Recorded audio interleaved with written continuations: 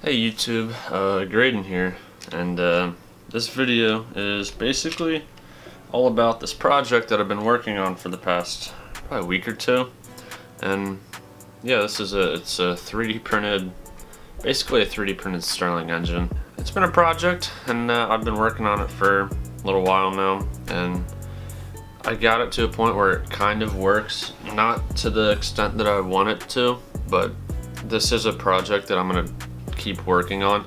So be expecting more videos on this in the future. But yeah, this is basically version one and to what I expected, it it does, you know, it does what I want it to.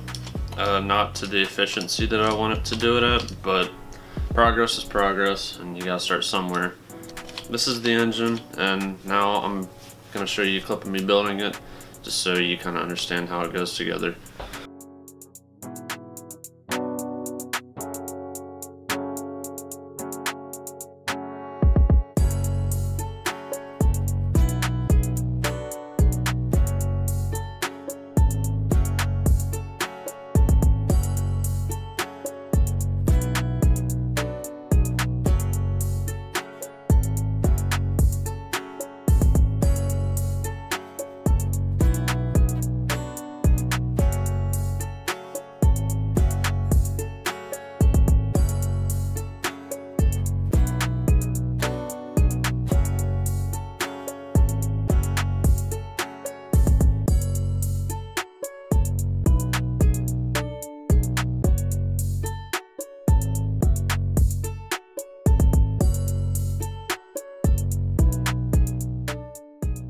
Now we're going to jump into the conclusions part on this engine, just to kind of clear some things up.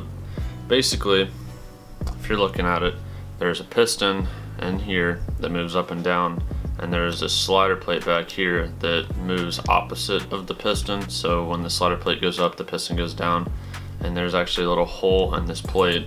So when the piston is at the top of its stroke, this valve opens up which lets air in through this nozzle and it basically pushes the piston down. And then you know if you keep repeating that it basically just creates circular motion. Oh yeah this is a flywheel that I printed and it wasn't heavy enough so I just took some basic uh, just copper wire really and just wrapped it around it just to give it some weight. And it does what I want it to so that's good.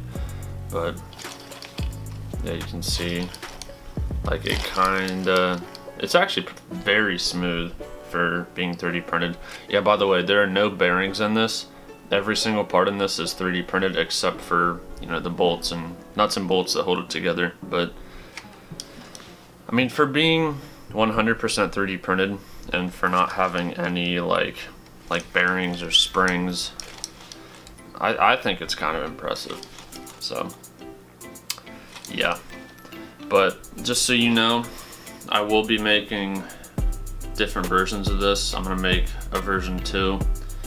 And um, I think my plan is to make a bigger piston in it and it also it's gonna have a bigger piston stroke so the vertical displacement is gonna be more. Just because in basic testing uh, I, I'm not getting the torque I want and I think I know why.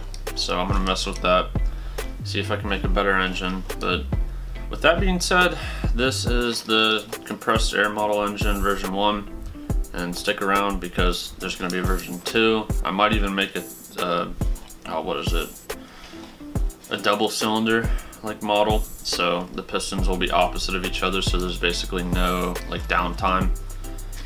And yeah I hope you're there to see it because this is a cool project for me. I really like where this is going. It's been a lot of fun making and designing this. So that being said, I'm Graydon. Thanks for watching. See you in the next one.